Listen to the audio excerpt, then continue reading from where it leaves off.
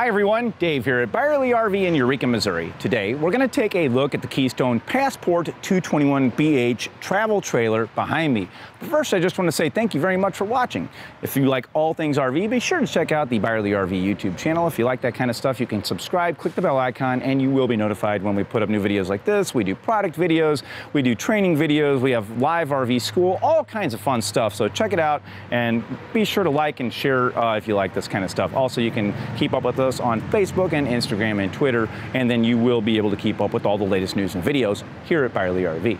Now, let's talk about the Keystone Passport 221BH travel trailer. So, Keystone RV. Keystone RV is the largest manufacturer of towable campers in the U.S. across all their different lines. The Passport is really been their premier ultralight line uh, since they started building ultralights. We have carried Passports since its inception.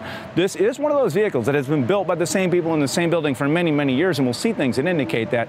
But also, it's one of the original ultralights, and in this business, you know, if you look at enough stuff, it all looks real similar, right? Because when you find someone that's doing something right, you copy that. That's what that's just the way it is. And this is probably the most copied thing out there. You're gonna see so much on here. So this video might even be a little longer than normal, but there's just a lot to cover, so you'll have to stick with me. Now, the 221BH is part of the Keystone Passport SL series. There is a GT series as well.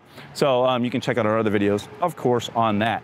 Now, we're gonna start actually, we're gonna go around the outside first and then the inside, and we're gonna start in back. Let's go. Okay, we're gonna start in back of this 221BH because of how cool it's laid out and designed with this storage. And so this is the back. We've got this really nice lockable door in the back. I'm gonna open this up and you will see I have already folded this bunk up. This is the bottom bunk of the bunk area. It's folded up to give us a really big storage compartment. This is awesome, you guys, because I could literally, you know, I can, I could take the front tire off my bike, turn the handlebars sideways, and probably fit that in here. All kinds of large things can go in here for while you're traveling.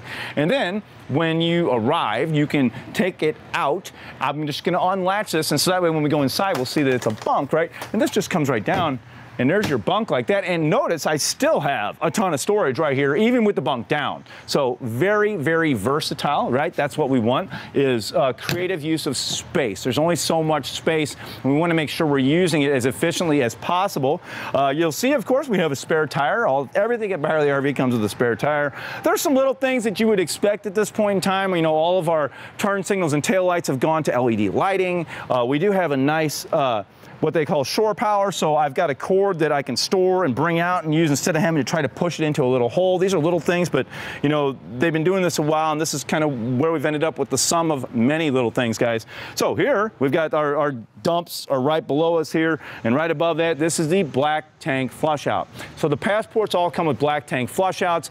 The, there's two holding tanks on here. There's a gray tank for your soapy wastewater from your sinks and shower, and there's the black tank for waste from the commode. Now, we use a chemical in there and special RV toilet paper. But at the same time, over the course of years, you can imagine how challenging it is to keep that tank clean. There's sensors in there that tell us how full the tanks are. We'll see inside where those sensors are. Uh, but the idea with this is I can open up that black tank valve and dump that tank, hook a hose up to this, and run water into there. And there's like a, a almost like a dishwasher spinning there, spinning, spraying that tank out and helping to rinse it out. And over the long run, guys, that that's awesome. It, it really is. I've got that on mine. Love it. Um, now. We're gonna move up to the front of what I call the business side of the camper because this is a side of the camper that has things like our dump hookups and our water hookups and stuff like that. So one thing Passport does really well, for a, especially for a travel trailer, is right here in this front compartment, we've got this really nice little water area. It's got a waterproof pan right here that'll drain to the outside. This gives me the ability to bring my hoses and cables up through here with keeping this door closed. I've got my city water connection right here, so if I have a connection at my campsite that I can connect water to and leave it connected, I would connect that here. If I don't, then I've got my fresh water. it says freshwater connection. What this is, is what we call the gravity fill for the freshwater tank on board. So there's a tank on board that we can put water into and it'll hold it. And there's a water pump on board to pump the water out and create our water pressure so we can be fully self-contained and that's where you fill it. And it's real easy. When it's full, it overflows. So that's how you know. Um, we also have access here to our hot and cold running water. Comes with a nice little coiled hose. There's a little nozzle right here, or I can attach whatever I need to the end of this. We're gonna see also there's another place we can connect this too. Uh, above that, there is uh, wiring coming in from the roof. We also have satellite and cable all built in with a booster through this Key TV. Um, basically, they just simplified the TV thing where you can plug anything in kind of anywhere. Um, not gonna touch too deep on that in this video. And then above that, all your passports have power stabilizers, okay? So my stabilizers here, all I have to do is hit a button up in this compartment and that's gonna run the front and back stabilizers. Also in this compartment is a charge controller. I've got a solar panel on the roof and to have a solar system, I've got to have a panel, I've got to have a battery, and in between that, there has to be what's called a charge controller. It monitors the battery and doesn't allow this panel to overcharge it, and that is up inside that storage compartment as well. Now, moving around the front, we have dual LP bottles with an auto switchover. We have a really nice Lippert Components power tongue jack, right? Storage compartment, you know, so one thing about a storage compartment is if the door isn't big enough, to fit large items in, then it doesn't do you as much good. So the size of the door allows me to put large items into what is a large storage compartment. This is cool too, guys. Not everything comes with all the cranks and things you like. You know, everything's motorized. The slide out's motorized. The tongue jack's motorized. The stabilizers are motorized. So, I mean, it's like, I don't have to actually crank anything. But if there was a failure, it actually comes with the tools I need to manually crank this stuff in or do whatever I need to do. There's motion lighting up in here, right? So it's off until I open the door and it comes on. I mean, it just, Guys, this is what I mean by the sum of many little things. I think Passport may do this better than almost anybody, but that's what happens when you've been doing it longer than everybody else and you listen to your clients and you incorporate things as you go, okay? So, right here, that Key TV plugins that we saw on the other side are right here as well so that I could set a TV on a table right here and plug it in. I could put a bracket out here if I wanted to. I've got access to the electrical system right there. And then moving over, okay, I'm under my awning, let's not forget about how great this awning is right here, covers my door all the way back to the kitchen, the outside kitchen. This is actually a vent from the inside kitchen to the outside. I say it because not everything has this. Some things recirculate and stuff. We've got outside speakers up there, and then an awesome outside kitchen here, right? So two burner stove, nice little fridge, and another connection to the water system, guys. So as you can see, outside the passport, oh, one other thing, look, I almost forgot, there's so much. Right here, see what they did with the axles right here, you guys? Okay, so a single axle trailer, right? This is your pivot point, your axle. If you take a double axle and stick it under there, it takes that pivot point away. If you spread those axles apart, now you have created a platform for this to ride on, which is gonna resist its tendency to wanna wiggle and things like that, a much more stable pull. You guys, these things are designed to pull well, they're lightweight, they know you're gonna pull it. You don't have to have a three quarter ton truck or anything to do this, okay? Um, the idea, really, with the ultralight travel trailer is what? These guys realize that if they can build campers that go behind vehicles that you already own, this is gonna allow more folks to go do this. And the Passport is absolutely one of the best examples of that. Let's go take a look at the inside. Okay, everyone, stick with me here on the inside of the 221BH Passport. We'll kind of go down one side and up the other like we did outside so we don't miss anything. Now, right here as we come in the entry door, we have our monitor panel up top. This is gonna tell me, like I said, outside how full my tanks are and things like that. I have switches here to control my gas and electric water heater, my water pump, my porch light, my ceiling light. I also have my slide out room control, my awning controls. I've got my theater system right here as well. So this is AM FM stereo with Bluetooth so I can connect my phone to it and listen to my music. It is connected to the TV, which is kind of right around the corner here. Remember, we also had outside speakers on that, guys. Um, I'm gonna pull this out for a sec because I want you to see, you know, one of the themes we're going to see here in this passport. Okay, so the TV's on a bracket, right? So I can move it around for easier viewing, of course. But you know, I mentioned outside no wasted space, and that's so important. And you're going to see that these guys probably do that better than anybody. So I've got a lot of storage behind here. Uh, there's a shelf behind that bracket even. So they built a shelf in there, you guys. So like if I wanted a place to keep my movies or something like that, call me old fashioned, to keep the disc movies, right, um, and stuff, but that would be uh, a great place for that kind of stuff. Just again, extra room. Now, on that theme of storage, look at this. Right as I walk in the door here, I've got drawers, big drawers. And this, this is one of my favorite parts of this floor plan, you guys. This double door right here, I, I, left the other side open so you can see all the way through here. Uh, this is that under the sink area, but being able to open it from front and the back, it's really cool because I could walk in and throw something away when I was working outside, cooking on that outside kitchen, or I can have access to it right here too. And it's really nice because that's big enough that I can have like a recycle and a regular trash bag, right? Now, um, not only do we need a lot of storage space, you can never have too much storage space, you can also never have too much counter space, right? So they put in a little countertop extension right here to give us even more. We've got a really nice deep stainless sink. We have the residential faucet right here for a sprayer, a nice large window uh, at the galley. I, I, love it when we do that. More drawers and doors. I mean, we should like count the number of drawers and doors in this camper, but we're not gonna open them all, but this one here, this is one to note. Look at how big this drawer is underneath our oven and stuff. That's for my, I can put my, I could put my large electric skillet in here. I could put all kinds of large items in here. This is wonderful. They know we need a place for that. There are campers out there where you start looking around. There is not a large enough storage spot, maybe for even your electric griddle that you're going to take, right? Um, of course, you don't necessarily need the electric griddle when you've got this really nice range. Three burner stove. Uh, we have the uh, oven lighting and things like that. I say that kind of stuff because for those of us that have been around a bit, we didn't have oven lighting not that long ago. So that's really, really nice. It's got the auto ignition right here too. Remember uh, that this uh, vent vents to the outside, okay? Now, I just, you guys are probably like, man, you've been drinking Passport Kool-Aid. And maybe I have because I've been selling these things for so long, but these people even improved the microwave, okay?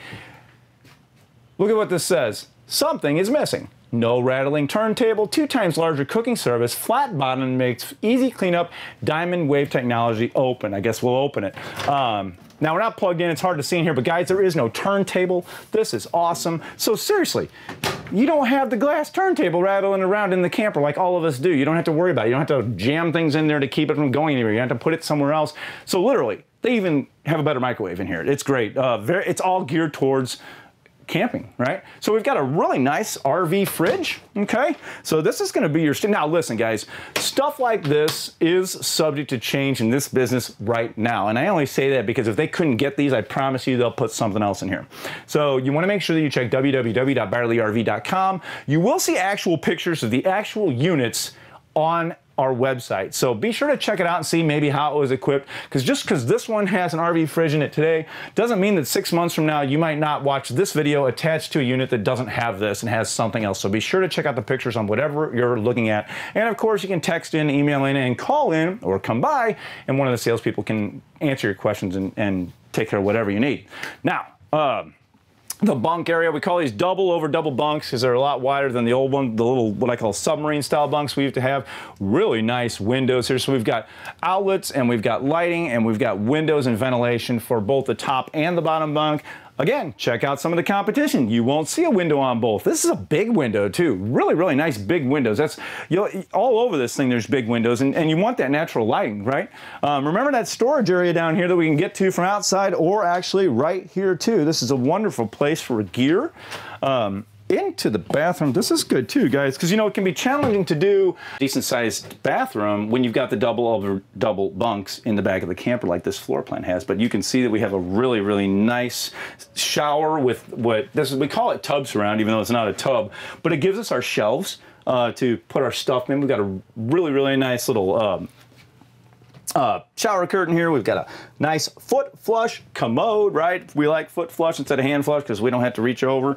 This, you know, okay, nice little medicine cabinet. We've got this, wow, it's a little thing, guys, but you, this faucet, to be able to get underneath this easily as opposed to have it like right down here, I can tell you that that's great. That's a little thing, but it's one of those things where it's like, my camper doesn't have that and I want to replace that faucet. Um, having a window in here is absolutely awesome, you guys, because we want to try to minimize moisture in a camper, okay? And so by having the window right there and the fan right here when I'm taking a shower, that really isolates that steam and everything in the bathroom uh, so that you're not getting it into the rest of the camper and you're, you're minimizing that, which is kind of what we're always trying to do. I say that because, you know, a lot of us will put a desiccant in here to absorb moisture when we're not using it so that it doesn't, so that the, the humidity level stays low. So now, On the wall right here, we have a digital wall thermostat. This is gonna operate our air conditioning and our heat. We have ducted heat. It's actually not ducted in the floor. It's ducted in the side, which I kind of like because I don't have those vents. I gotta worry about getting dirt in. I've got ducted air conditioning. And then this, gosh, if you wanna, you know, if you've ever seen any of my other videos, I, I like to use the term tons of storage. I don't know if it's ever applied in a travel trailer more than this, you guys. This is amazing. So we've got this humongous storage area, deep, wide, obviously. And one of the best parts about this, so if you look in almost every passport that's like ever been made, go back to one 10 years old, you're gonna open a cabinet, there's gonna be a cabinet that has shelves that you can remove because you can use it as pantry or you could use it as hanging storage. So I can literally remove this top shelf right here, pull this out, Look at the size of the closet, okay? I mean, I've got a lot of people in here, right? I've got people in bunks. I got people sleeping on my dinette. I've got a queen bed up here. So I've got room to actually hang everybody's clothes. There's not many campers out there that are like that, you guys. And then over here, okay, so if we're gonna sleep a lot of people and feed a lot of people and store a lot of stuff, we need to seat a lot of people, right? And sleep a lot of people. So, um, nice U-shaped dinette. The bed will go down onto this lip right here. Check out the RV Basics video on dinette conversion, okay, um, to make this into a bed. Um, but uh, this is, so we're not gonna do it in this video, but this makes into a really, really nice bed. I say a nice bed because how long it is, okay? Most regular booth dinettes, yes, they convert to sleeping, of course they do, but they're not as long. A, a, a, a full-size adult can't necessarily lay all the way across, and on this bed they can. Um, oh gosh, these guys are like the king of drawers. Look at this thing. So it's useful storage underneath your dinette, right? Always is. It's a lot easier to get to it like that than having to lift the cushions and everything, right? Um, look at what they did down here too. This is so awesome just, I mean, here's my shoes are gonna go in here. My, I mean, all kinds of stuff. This one's gonna have stuff that I can reach in from outside and grab. I mean, this is absolutely awesome. You know, and then of course, we've got more hanging storage on the side of the bed, all right, both sides there. We've got tables here for whatever you might need next to you while you sleep. The couch, well, if I'm gonna, it's time to go to bed, right, I just, I'm gonna take the couch, it's a jackknife sofa. I could sleep like that if I wanted to, but why would I do that? When I've got a nice queen bed right here. Real easy, guys. Voila, look at that. So, you know, this thing, if you think about it, I've got one, two, three, four separate sleeping areas. Each one of these sleeping areas can accommodate, a lot of them can possibly accommodate more than one person if you need to. Um, the 221 BH Passport with the slide out, you know, really that's why we have all this open room. I have room for countertop extensions and queen beds and booth dinettes and double over double bunks, guys. This thing is absolutely awesome. Again, don't forget, this is a lightweight trailer. You don't need to have a humongous truck to pull it. So all the specs and everything are available at www.byerlyrv.com, like I mentioned earlier. So be sure to check that out. Be sure to check out our other YouTube videos. Thanks for watching, and I'll see you next time.